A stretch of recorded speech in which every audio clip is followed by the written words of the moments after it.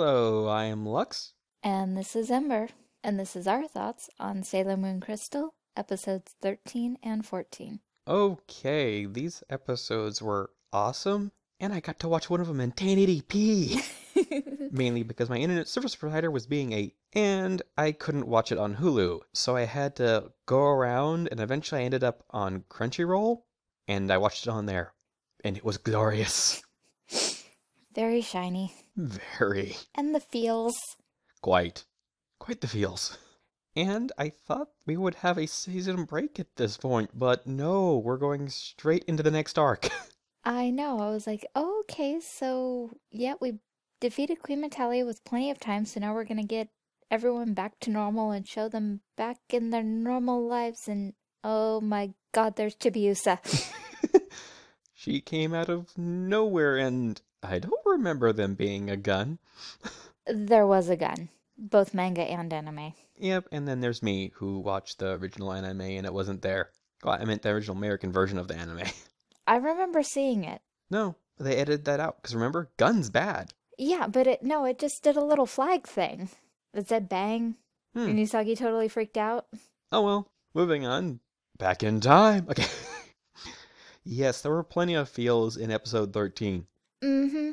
Yeah, so everyone's failing, everyone's falling. Oh no, we're both dead. Wait, but I'm alive? And you're alive? And the Sailor Scouts are going, She's alive! We know she's alive! Because she gave us happy feels and we can hear her laugh. Oh my god.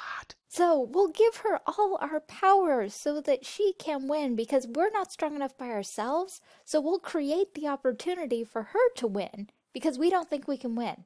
But okay, if we needed the frickin' holy sword, why didn't you take the holy sword with you when you left? Also, if praying at that altar was the answer, couldn't we have like done that earlier? And why didn't you use that during the whole first Moon Kingdom thing? Um, probably did, and probably also died doing it. You know, because like Usagi kind of sort of died ish. Mm-hmm. It's a little vague. Also, instead of a house cat to protect your daughter, couldn't you have had, I don't know, a larger cat maybe, or given that cat the power to transform into a larger cat with battle armor? I mean. um, yeah. And if you've already assigned your daughter four human warrior guardians, why did you also assign a cat to her? I don't know. So, yeah. And also, okay, praying to the tower. So Luna is there praying, looking awesome. Artemis, what the freak are you doing? You're just standing there watching. Do you not care about Minako enough to go up there and try to sync up with her? or even just try to share your power with Sailor Moon? Or even just pray that Luna's prayers will be enough? You're standing there watching. Okay, I know in this Sailor Moon universe, males are usually mostly useless, but come on!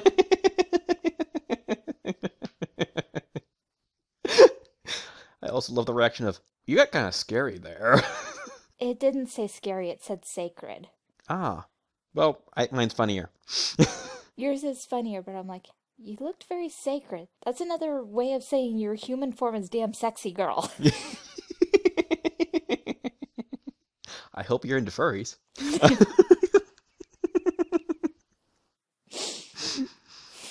uh, I apologize to any furries. so, yeah, the episodes were very well done. Some animation errors, like for a moment, the Silver Millennium Crystal is there when it should be, and the next, it's not there when it should be. And then it's gone, and then it's back, and we can understand why it's gone in the next shot, but why did it disappear earlier? and Let's not forget how the legendary silver crystal incredibly constantly changes size, because it should not have fit inside that brooch. It was much larger. We could see clearly when it was in the moon elongated moonstick that it was very large, large enough to cup it with two hands. Yet suddenly it's still in the same shape, but it shrunk down small enough to fit inside the brooch. It's a magical silver crystal? Yes, but also why put it in the brooch if when you do moon healing escalation, we're gonna put it back on the stick? Also, very OP, Sailor Moon. Let's just heal the entire world at once. That won't cause any problems in the future. We'll just fix everything. And can we explain how the Sailor Scouts got from the frickin' North Pole back to town? I'm pretty sure that was a healing, not a teleportation. Magic. I love how all those birds were conveniently lined up right there, and they showed us them first, and we were and we both giggled like, "Yeah, that's funny." And then, oh, that's why, because it's just like those are surprisingly convenient birds. Oh, look. And we have it fairly clear that at the end of episode 14, Sailor Moon is the only one who still has powers. And that's reiterated with the preview we see of episode 15 because we see new henshin sticks. Though I did notice when she did the new transformation, when she said, I am Queen Sailor Moon, I'm like, why didn't she get like the suit upgrades I've seen in the manga and stuff? I know, I'm like, I was expecting more of a change for the outfit. Yeah, like the colors around the edge of the skirt or what starts to look like wings on her costume and stuff like that. Yeah, well, I think some of those are later in the series, like in S. Mm-hmm. And right now, um, with Chibiusa showing up next episode, I think would be an R. And that's another question. I thought this was going to be a short series, and from what I understand, season two is supposed to have 26 episodes. So are we getting another 26 episodes after this point, or it will be a total of 26 episodes? Because I'm really confused because I thought it that the initial Sailor Moon Crystal was only covering the original arc, so should have ended with episode 14. And I know that they did later decide that, oh, wow, this is popular. No freaking duh. And we were going to get more episodes. But it seems kind of funny that we have the preview for episode 15 already. I mean, I know Japan doesn't do off seasons, but I thought they needed more production time.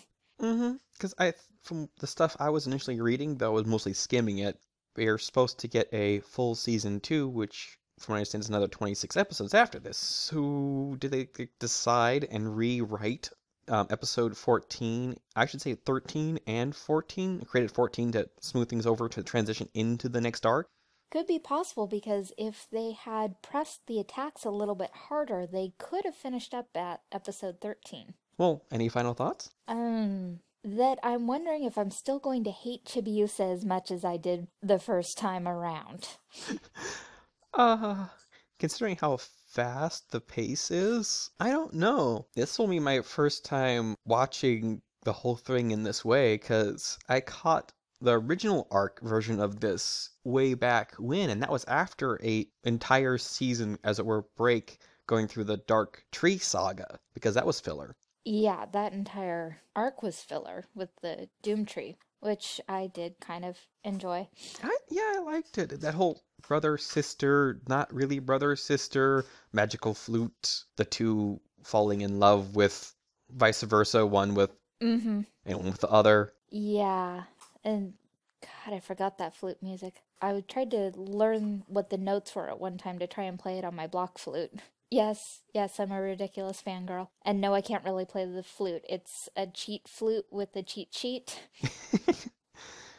uh, and if you hear stuff in the background, that would be her cat. You may have heard us mention her before. Yes, Kitten has decided it should be playtime right now, so.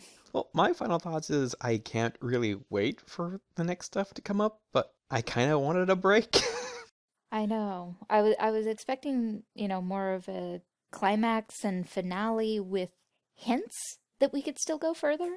You know, kind of how like most harem series, I know this isn't a harem series, kind of reset at the end where, oh gee, everything's changed, but yet at the same time nothing's changed. So we could go either way. Mm-hmm. I was expecting it, you know, to them to have that nice scene at the end of the park, and then it would fade to black, and we'd get credits and it says wait for next season or something like that. Something that gave us a little bit of a break, like a month time or something, and then suddenly, nope, boom, right into next arc. Okay, I knew the pace was quick on this, but oh my god. So hopefully Chibiusa won't have as much time to be annoying, because I still found her a bit annoying in the manga because she acts extremely childish for her age. That, and doesn't she kind of have a weird obsession with her father? It's called an Electra complex. well, oh, we'll leave you on that note. Thank you for listening. This has been our thoughts on Sailor Moon Crystal, episodes 13 and 14. Want to keep track of what Lux is up to? You can find him on DeviantArt and Tumblr, want to keep track of our YouTube channels, you can find a link for us on Tumblr. Really like Lux's art and would like to have some of your own? He is currently accepting commissions. Also, if you really like us, please leave a comment, friendly comment. If you really, really like us, please subscribe. All links are in the description.